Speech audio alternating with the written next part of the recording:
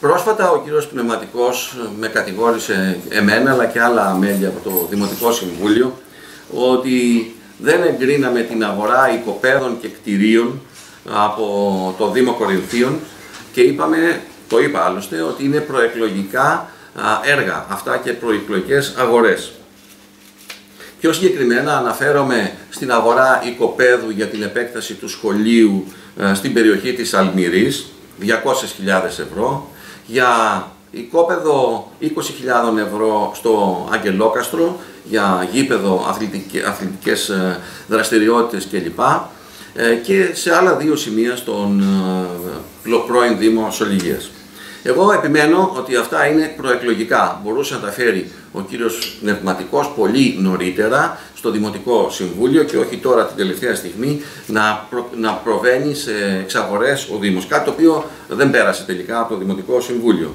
Και δεν έχει δίκιο ο κύριος Πνευματικός που λέει ότι δεν γνωρίζει ποιοι ήταν οι ιδιοκτήτες, ούτε έχει μιλήσει με τους ιδιοκτήτες, γιατί ο ένας από τους ιδιοκτήτες ήταν υποψήφιός του στο Αγγελόκαστρο.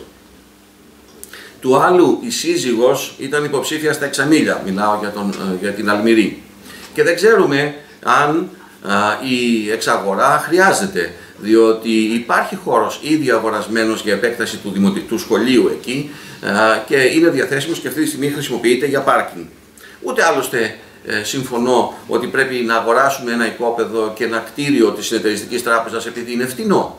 Το θέμα είναι αν το χρειαζόμαστε και έχουμε ένα δημοτικό σχολείο το οποίο δεν αξιοποιείται. Πρώτα πρέπει να αξιοποιηθεί το δημοτικό σχολείο εκεί και αν μας χρειάζεται αγοράζουμε και κάποιον άλλο χώρο ή χτίζουμε σε οικόπεδο που ήδη έχουμε εκεί.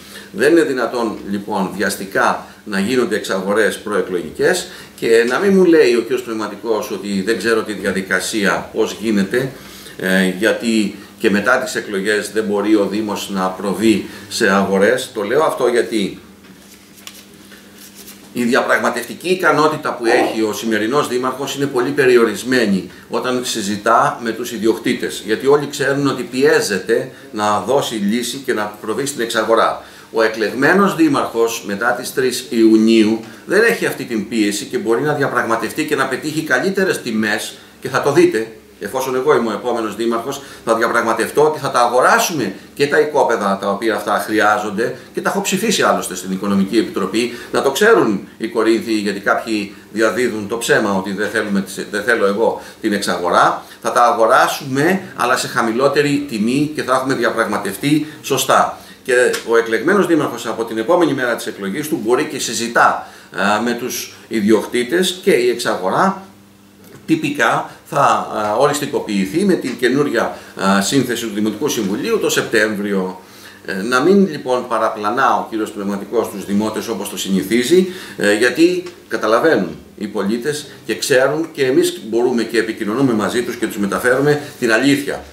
Να κάνουμε προεκλογικό αγώνα, να χρησιμοποιήσουμε τα επιχειρηματά μας, αλλά όχι με παραχάραξη της αλήθειας, όχι με ψεύτικες ε, ειδήσεις τις οποίες ε, συνηθίζει ο κύριος Πνευματικός.